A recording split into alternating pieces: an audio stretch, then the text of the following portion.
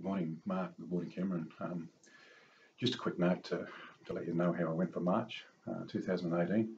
Had a pretty good month. Um, since I rewrote my plan back in December and um, got rid of a lot of the, the and trades I was taking, I've now concentrate on just the six um, whale trades plus some price action um, in the live room.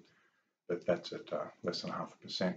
So just concentrating on those six um, whale trades has returned me about um, 16 and a half thousand for the month, which is a pretty good return. Um, I just wanted to say thank you to uh, both of you guys for the mentoring support you give us with the whale trading and um, has proven to be very popular. So um, thanks for guidance to, to rewrite that and for the, uh, the guidance also to make sure I stick to it. So uh, cheers guys, thanks.